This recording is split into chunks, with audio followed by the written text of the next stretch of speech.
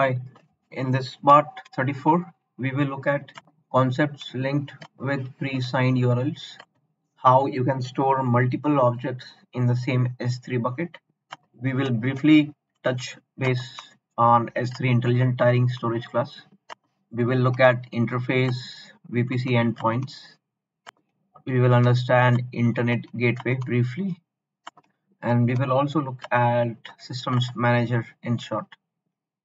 If you have not yet subscribed, do so and help us with subscriptions. You can stay tuned with the latest content as well.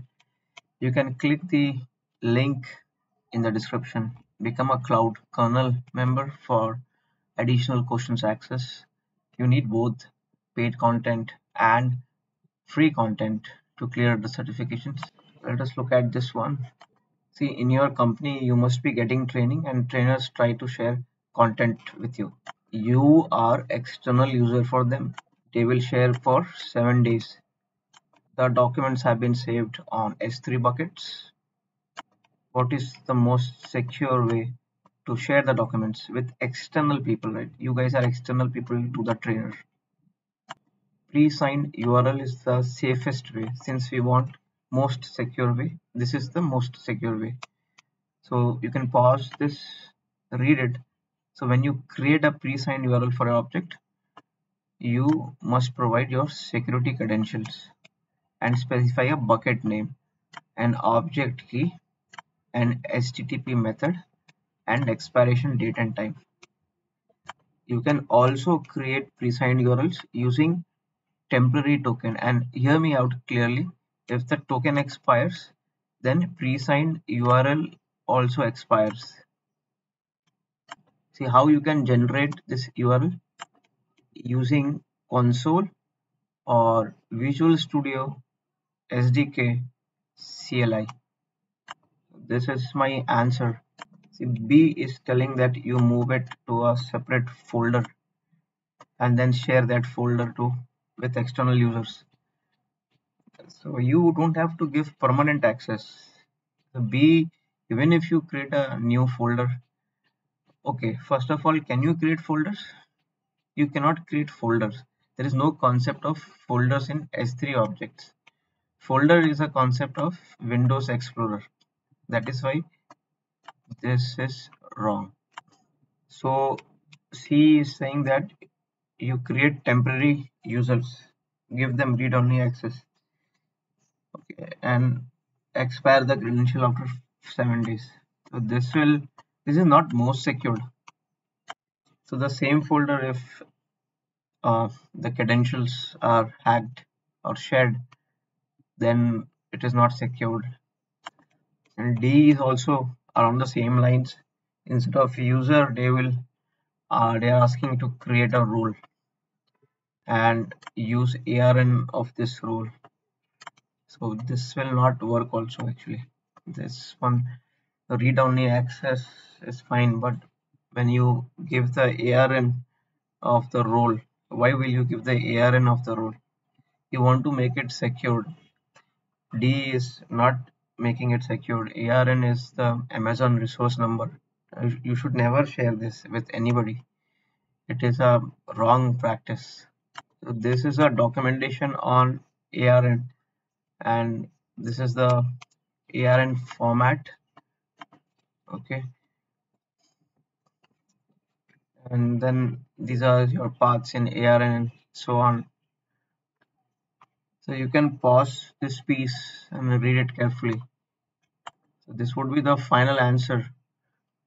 And this next question is like you have a developer and they are storing many objects in a single bucket s3 bucket okay so you can store it in a single bucket multiple objects. That is fine perfectly fine.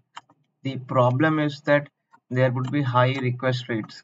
So if the request request rates are very high and you have everything in one bucket then it can be a problem with respect to accessibility and performance. That will be a problem. Okay so what is the best way?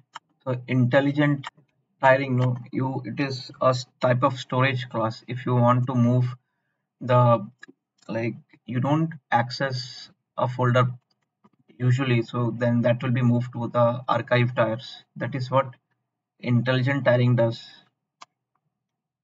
But here the problem is not the frequency of access is not the problem. All the uh, objects are actively accessed.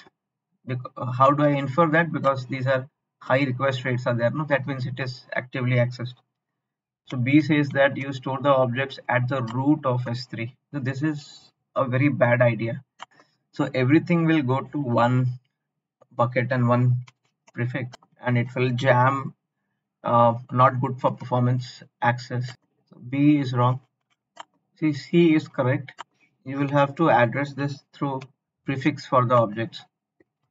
In the windows explorer world uh, think of it as subfolders. So for example here you see they have this prefix. In windows explorer these are subfolders. Like under europe you have france. Under france you have Nauvile and so on. So this is called prefix in the uh, object storage world whether it be aws s3 which is amazon's object storage or azure blob storage which is for azure cloud it is the object store. D is wrong because it is just saying that you use a tag name prefix. No we have to use prefix as a functionality of s3 hence this would be the final answer. You can read this piece of the documentation. Okay let us look at this next one. So you have two boxes this yellow box and blue box yellow box is your lambda and blue box is your systems manager which is used to manage resources and it works with on-prem and hybrid cloud, multi-cloud, so on. So now they move Lambda in a VPC, private subnets with private subnets. Okay. So you see this green lines we have circulated. So this yellow box is Lambda and green dotted line is the VPC with private subnets. So when Lambda is trying to access this blue box, right, systems manager, it is getting an error. That that means some problem happened with this private subnets.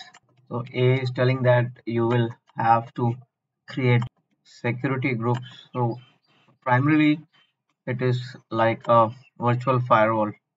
You can tell uh, like which IPs can access like you can control incoming outgoing traffic so if you see this documentation this line you know this is a line which is important for interface VPCs. You know, the scenario this question is explaining this is exactly what interface VPC endpoints is made for. And it works in this scenario like for each subnet that you specify from a VPC, we create an endpoint network interface in the subnet and assign it a private IP address. So this is important for this yellow box to talk to uh, blue box See, if your VPC wants to talk to internet, then we use internet gateway. Internet gateway is for your VPC who wants to talk to the internet. VPC who wants to talk to the internet. VPC wants to talk to the internet. This green line box is VPC. You want to talk to internet, you need internet gateway. C is wrong because our question is not telling that we have to talk to internet that is not the scenario we have to talk to systems manager see if you want to connect to s3 and dynamodb and without internet gateway or NAT device then you use gateway endpoint. We don't have s3 or dynamodb in our question.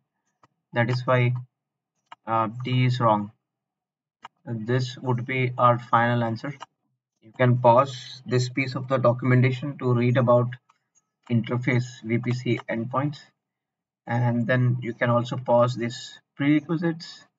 And then this is a process to create a VPC endpoint and so on.